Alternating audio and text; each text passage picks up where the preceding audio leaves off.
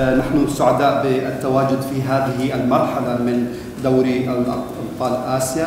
لذلك نحن جاهزون لهذه المنافسة.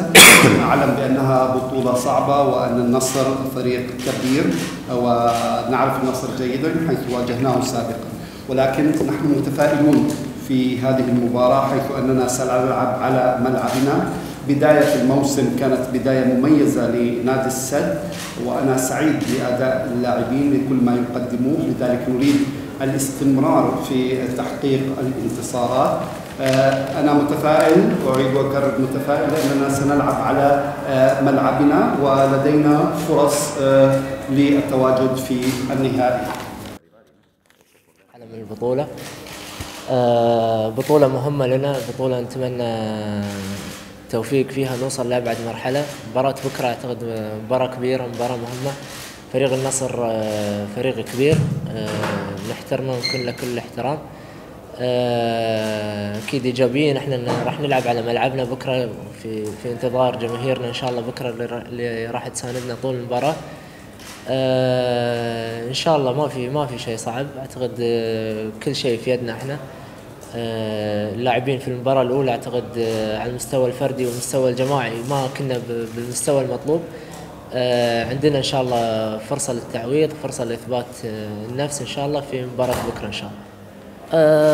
الضغط أعتقد كلمه خلاص المفروض ننساها يعني. أعتقد بالعكس المفروض يكون شيء إيجابي يعني ضغط أو دافع إيجابي لنا إحنا كلاعبين. صحيح إن إحنا متأخرين في النتيجة لكن مش بنتيجة كبيرة عندنا فرصة كبيرة لتحقيق نتيجة إيجابية والتأهل من مباراة بكرة إن شاء الله. طبعا هناك الضغط على الجميع وليس فقط على فريق السد. نحن نجهز لهذه المباراة منذ عدة أيام ونحن جاهزون لها. سنعمل على اللعب على الاستحواذ على الكرة وعلى الكرة الثانية أيضا حيث نعلم أنهم يلعبون الكرات الطويلة ولديهم لاعبين مميزون سواء بدنيا أو هجوميا مثل حمد الله وجوليانو. هم أقوياء بدنيا ولكن السر يكمن في أننا يجب أن نستحوذ على الكرة واللعب بهدف الفوز. بالطبع أكرم عفيف سيشارك في مباراة الغد وهو جاهز لهذه المناسبة لهذه المباراة.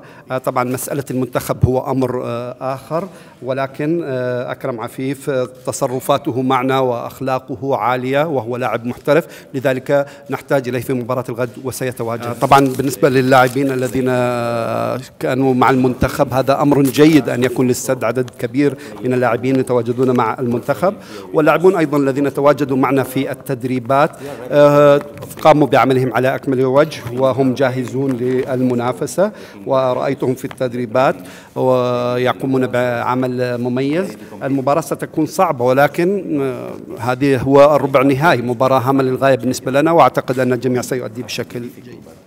أكيد الجماهير مش بس جماهير نادي السد. أعتقد جماهير القطريه كاملة تترقب هالمباراة وجاهزة إن شاء الله ان تكون معانا بكرة في الملعب. وأكيد دعوة لهم إن يكونون معانا إن شاء الله بكرة.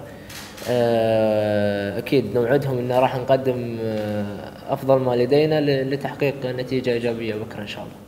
طبعا أنا أثق في اللاعبين في لاعبين السد وأنا متشوق للغاية لمباراة الغد. هذه المباراة بالنسبة لي مهمة للغاية. أنا أريد الفوز بدوري الأبطال وجئت لقطر للفوز بالبطولات كلاعب وكمدرب.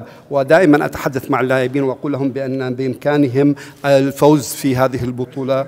ولذلك أتحدث مع تحدثت خصيصا مع حسن الهيدوس وقلت له أنكم ستفوزون بكأس أمم آسيا واستطاعوا الفوز بكأس أمم آسيا فلما لا نستطيع أن نفوز بكأس بدوري أبطال آسيا. واثق ثقتي كبيرة في كافة لاعبين السد. لذلك أنا متشوق للتواجد في النهائي.